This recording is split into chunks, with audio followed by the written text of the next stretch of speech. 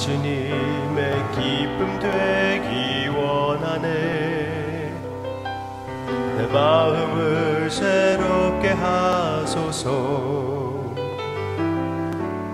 새 무대가 되게 하여 주사. 주님의 빛 비추게 하소서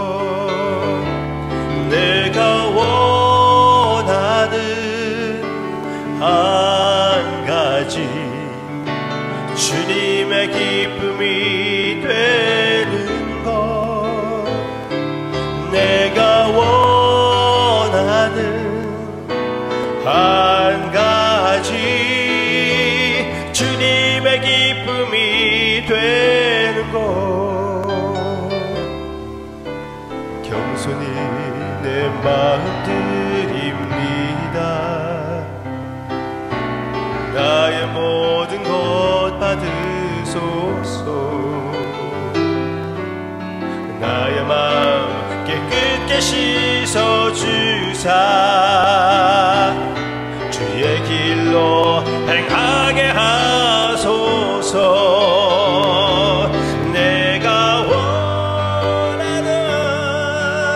한 가지 주님의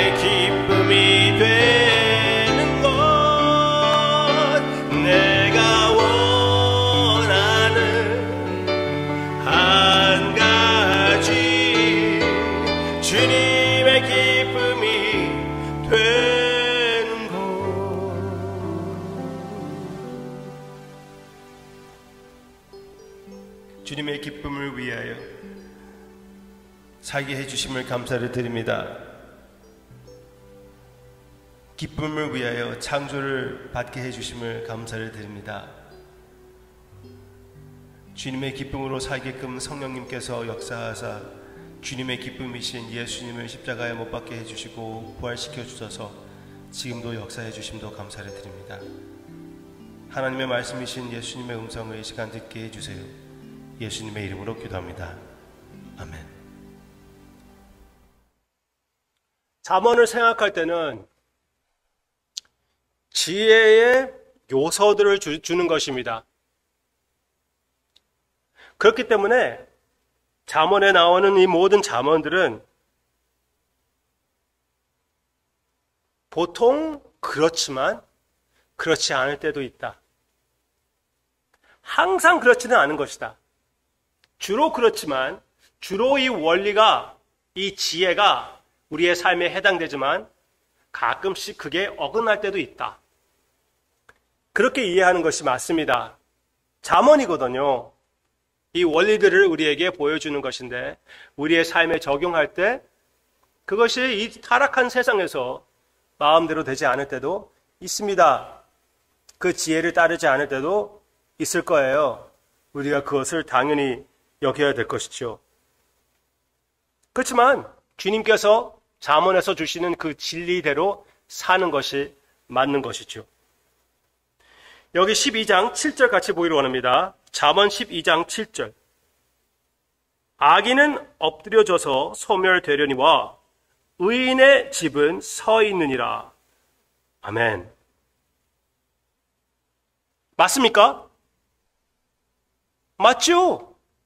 맞죠? 방법을 따지지 않고 그냥 마음대로 억지로 무슨 일을 하다가 악을 사용하고 게임수로 무엇을 이루려고 하는 것은 오래가지 않는 게 그게 원리죠. 이 세상 봐도 그런 모습들이 많이 보이고 있습니다. 그리고 이 원리를 지혜의 원리를 따르고 성령적으로 살려고 하면은 어느 정도 나의 가정이 안전하게 되는 것이고 이 세상적으로도 성공스럽게 성공의 모습으로 살게 되는 것은 사실입니다. 주로 맞아요. 그런데 항상 그렇지는 않잖아요. 항상 그렇지는 않아요. 무슨 말을 하려고 그러냐면은 어저께 미국에서 9월 11일 911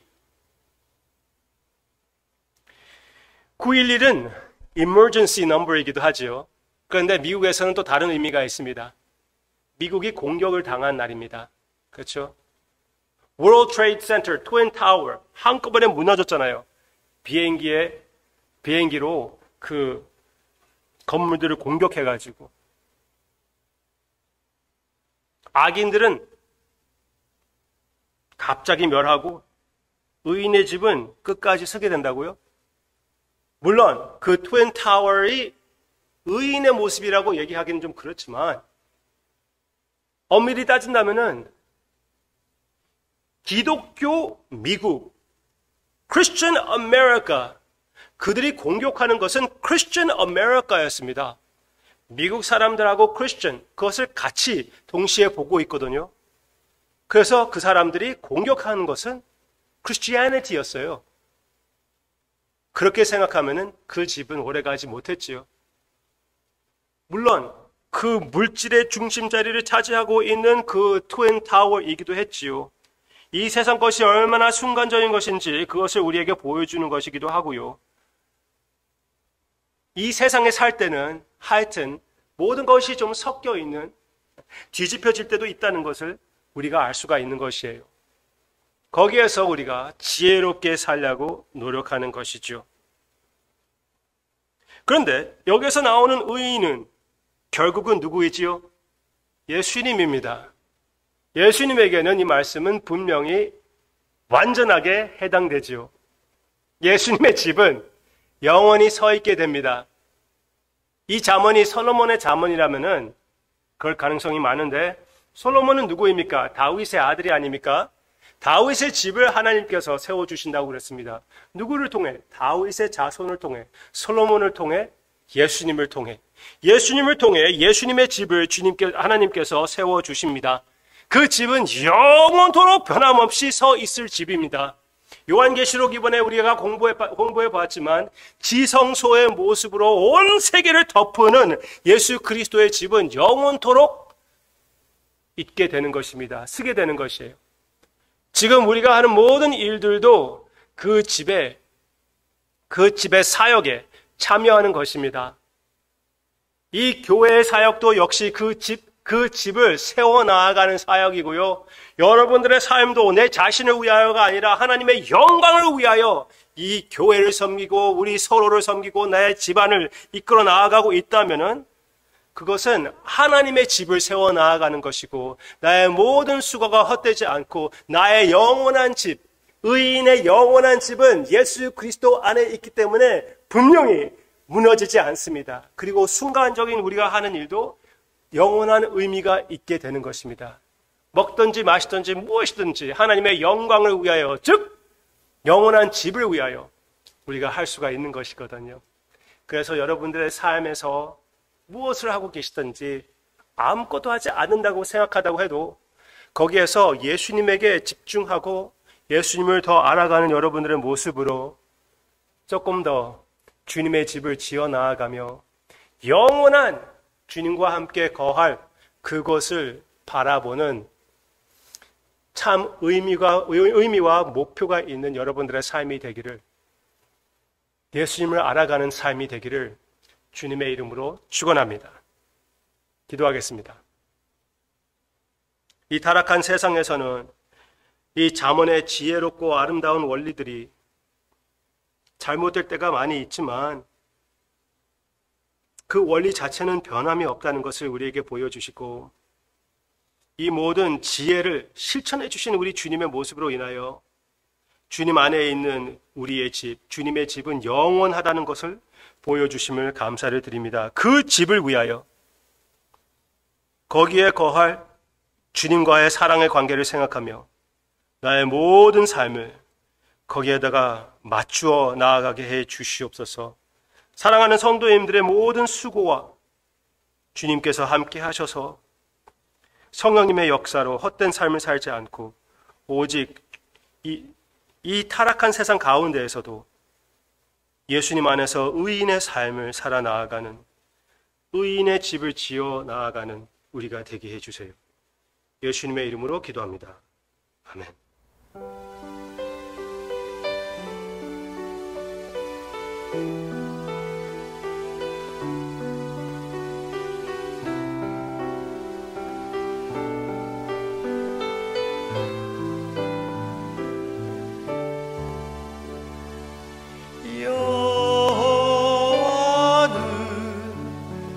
那夜幕。